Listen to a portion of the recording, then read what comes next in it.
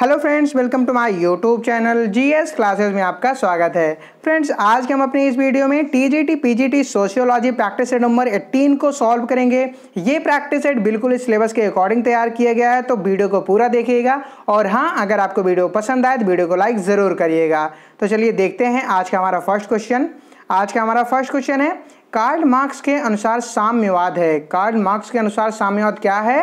Right answer होगा option number A क्रांतिकारी क्रियाओं में सहायक।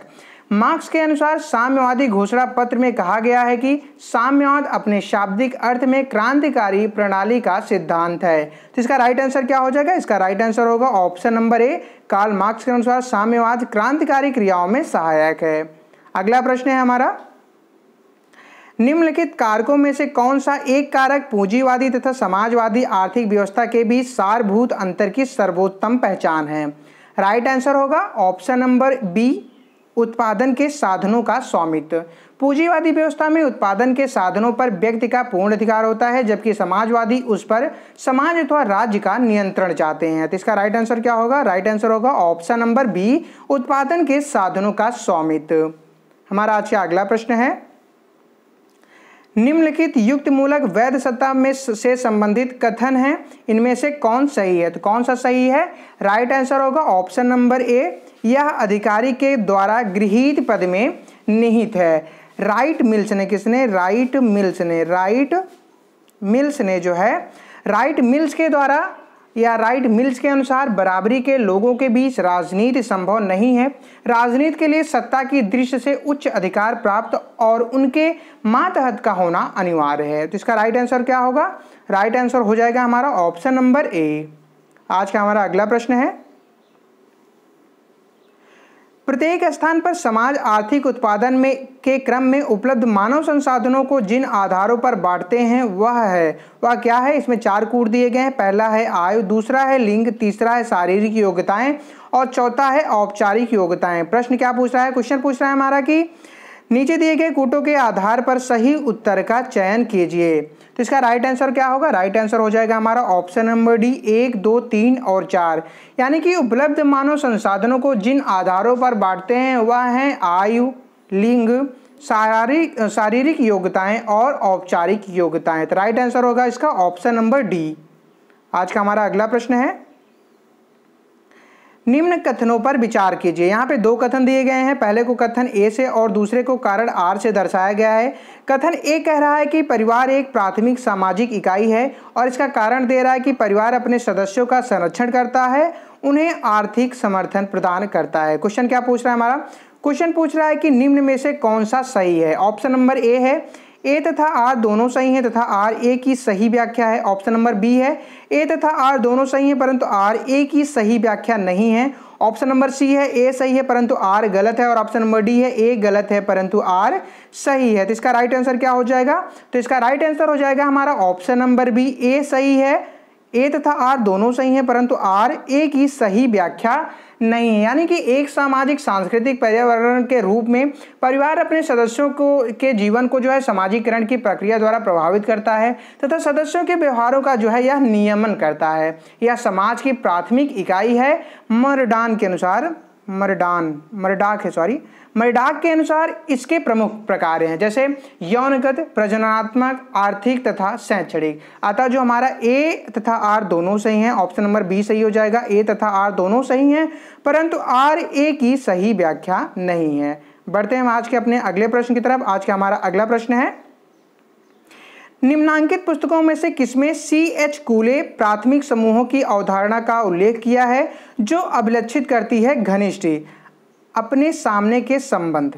तो इस क्या होगा इसका राइट आंसर इसका राइट आंसर हो जाएगा ऑप्शन नंबर डी सामाजिक संगठन।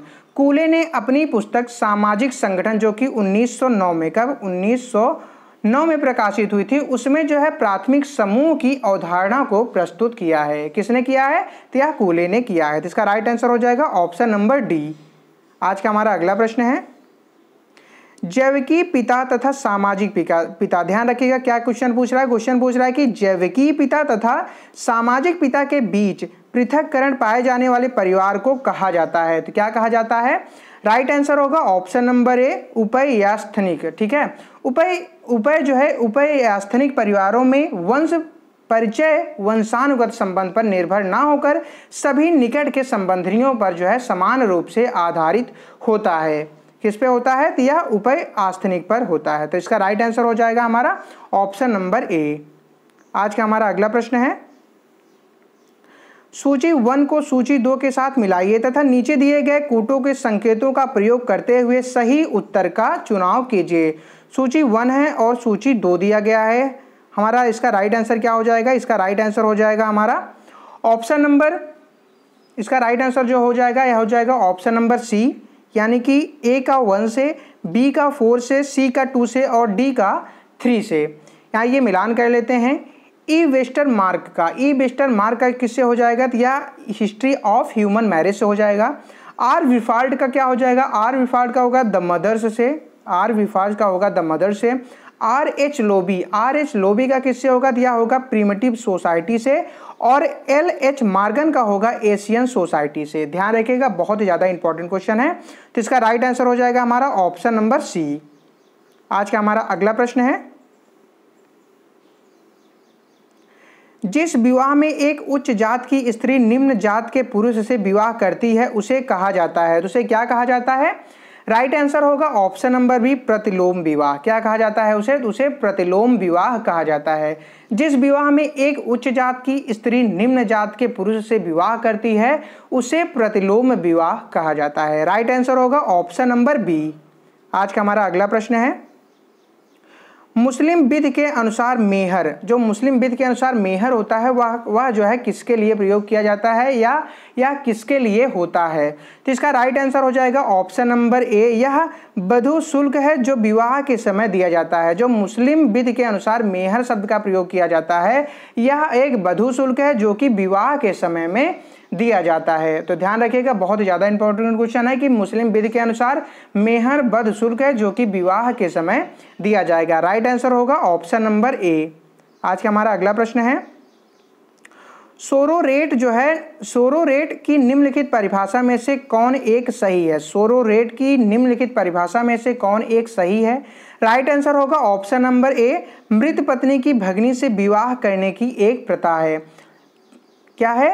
सोरोरेट मृत पत्नी की भगनी से विवाह करने की एक प्रथा है। राइट आंसर हो जाएगा हमारा ऑप्शन नंबर ए सोरोरेट क्या है? तो सोरोरेट मृत पत्नी की भगनी से विवाह करने की एक प्रथा है। इंपॉर्टेंट क्वेश्चन है या कई बार एग्ज़ाम में पूछा जा चुका है तो ध्यान रखिएगा कि सोरोरेट क्या है। तो सोरोरेट मृत पत्नी की भगनी से विवाह करने की एक प्रथा है। आज का हमारा नेक्स्ट क्वेश्चन है। निम्नलिखित में से कौन एक समर्थक स्वजनों का दृश्यांत नहीं है? तो कौन नहीं है? राइट आंसर होगा ऑप्शन नंबर सी पति और पत्नी। पति और पत्नी संबंध, वैवाहिक संबंध पर आधारित स्वजन है। ठीक है? ध्यान रखिएगा कि पति और पत्नी क्या है? पति और पत्नी संबंध जो होता है यह वैवाहिक संबंध पर आधारित स्वजन है, ना कि यह एक समर्थक स्वजनों का दृश्यांत है। ठीक है? ध्यान रखिएगा इंपॉर्टेंट क्वेश्चन है। आज का हमारा अगला प्रश्न है निम्नलिखित किस जात में पिता की संपत्ति? क्या क्वेश्चन पूछ रहा है हमारा? निम्नलिखित किस जात में पिता की संपत्ति सभी पुत्रों को विरासत में बराबर नहीं मिलती है? तो इसका राइट आंसर क्या हो जाएगा? तो इसका राइट आंसर हो जाएगा ऑप्शन नंबर डी नडार ठीक है? ध्यान रखिएगा कि नडार जात में पिता की जो संपत्ति होती है वह सभी पुत्रों को जो है विरासत में बराबर जो है नहीं दी जाती है। तो किस किस जात को नहीं जा, दी जाती है? तो इसका राइट आंसर होगा ऑप्शन नंबर डी नडार जात को। हमारा आज का अगला प्रश्न है संस्थाओं को संप्रेषित करने के लिए विशिष्ट समितियों की आवश्यकता होती है। यह तहत यह तथ्य महत्ता रखता है। किसके लिए महत्ता रखता है? तो इसका रा, जो राइट आंसर होगा क्या होगा? राइट आंसर हो जाएगा ऑप्शन नंबर सी समितियों के आकार निर्धारित करने के लिए। संस्थानों को संप्रेषित करने के लिए विशिष्ट समितियों की आवश्यकता होती है। यह तथ्य समितियों के आकार निर्धारण के लिए जो है महत्ता रखती है। तो ध्यान रखिएगा इंपॉर्टेंट क्वेश्चन है। इसका राइट आंसर हो जाएगा ऑप्शन नंबर सी आज का हमारा अगला प्रश्न है। आवास का वह नियम जिसे एक विवाहित युगल वर की माता के भाई के साथ रहने के लिए कहा जाता है। आवास का वह नियम जिससे एक विवाहित युगल वर की माता के भाई के साथ रहने के लिए कहा जाता है। राइट आंसर होगा ऑप्शन नंबर सी, मातुल स्थानिक मातुल स्थानिक परिवार की प्रथा ट्रोब्रियांड द्वीपवासियों में प्रचलित है। इसमें भांजा विवाह के बाद अपनी पत्नी सहित मामा के यहाँ रहने चले जाते हैं। तो इसका राइट आंसर होगा ऑप्शन नंबर सी आज का हमारा अगला प्रश्न है। निम्न कथनों पर विचार कीजिए। यहाँ पे दो कथन दिए गए हैं। पहले को कथन ए से और दूसरे को कारण आर से जो है दर्शाया गया है। कथन ए कह रहा है कि सम्भ्रांत वर्ग का उदय एक औपचारिक संगठन के रूप में होता है और इसका कारण बताया जा रहा है कि औपचारिक संगठनों में प्रतिभाशाली नेताओं की आवश्यकता होती है। क्वेश्चन क्या पूछ रहा है? क्वेश्चन पूछ रहा है हमारा कि निम्न में से कौन सा सही है? ऑप्शन नंबर ए है ए तथा आर दोनों सही है तथा आर ए की सही व्याख्या है ऑप्शन नंबर बी है, ए तथा आर दोनों सही है, परंतु आर ए की सही व्याख्या नहीं है, और ऑप्शन नंबर सी है, ए सही है, परंतु आर गलत है, और हमारा लास्ट है option number D. Option number D कह रहा है कि ए गलत है, परंतु आर सही है। तो इसका राइट आंसर क्या हो जाएगा? तो इसका राइट आंसर हो जाएगा ऑप्शन नंबर डी। ए गलत है, परंतु आर सही है। ध्यान रखिए क्या?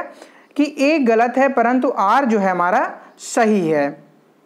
यानी कि सम्राट वर्ग का उदय एक औपचारिक संगठन के रूप में होता है, यह कथन गलत है, लेकिन जो इसका कारण दिया गया है कि औपचारिक संगठनों में प्रतिभाशाली नेताओं की आवश्यकता होती है, यह हमारा सही है। यानी कि कथन ए गलत है, परंतु आर हमारा सही है। तो इसका राइट आंसर क्या हो जाएगा? ऑप्शन नंबर डी आज का हमारा अगला प्रश्न है। निम्नलिखित में से कौन उत्तरी भाग के पृथ्वंशी हिंदू परिवार में परिहास संबंध के प्रतिरूप में शामिल है? राइट आंसर हो जाएगा ऑप्शन नंबर सी व्यक्ति तथा उसकी भाभी के बीच। व्यक्ति तथा उसके भाभी के बीच उत्तरी भाग के पृथ्वंशी हिंदू परिवार में परिहास संबंध के कई प्रतिरूप विद्यमान हैं। जैसे देवर भाभी के बीच, भाभी ननद के बीच, जीजा साली के बीच आदि। तो इसका राइट आंसर हो जाएगा हमारा ऑप्शन नंबर सी व्यक्ति तथा उसके भाभी के बीच। हमारा आज का अगला प्रश्न है। अपने समूह की संस्कृत को अस्वीकार करने की व्यक्ति की प्रवृत्ति कहा जाता है। अपने समूह की संस्कृत को अस्वीकार करने की व्यक्ति की प्रवृत्ति को क्या कहा जाता है? तो राइट आंसर होगा ऑप्शन नंबर ए अहंग केंद्रवाद कहा जाता है। क्या कहा जाता है? आह केंद्रवाद। अपने समूह की संस्कृत को अस्वीकार करने की व्यक्ति की प्रवृत्ति को आम केंद्रवाद कहा जाता है। राइट आंसर होगा ऑप्शन नंबर ए आज का हमारा अगला प्रश्न है। कुछ समुदायों में माता त, माता तथा उसकी भगनी के लिए समान शब्दावली का प्रयोग किया जाता है। निम्नलिखित में से यह प्रचलन किसका परिचालक है? तो किसका परिचालक है? राइट आंसर होगा ऑप्शन नंबर सी साली विवाह का। जिन समाजों में साली विवाह का प्रचलन है वहाँ प्रथा के रूप में एक व्यक्ति को अपनी पत्नी की सभी बहनों से विवाह करना पड़ता है। तो इसका राइट आंसर होगा हमारा ऑप्शन नंबर सी आज का हमारा लास्ट प्रश्न है। उस प्रक्रिया को जिसके द्वारा एक विशिष्ट सांस्कृतिक समूह के सांस्कृतिक लक्षण दूसरी संस्कृति में फैल जाते हैं कहा जाता है। तो क्या कहा जाता है?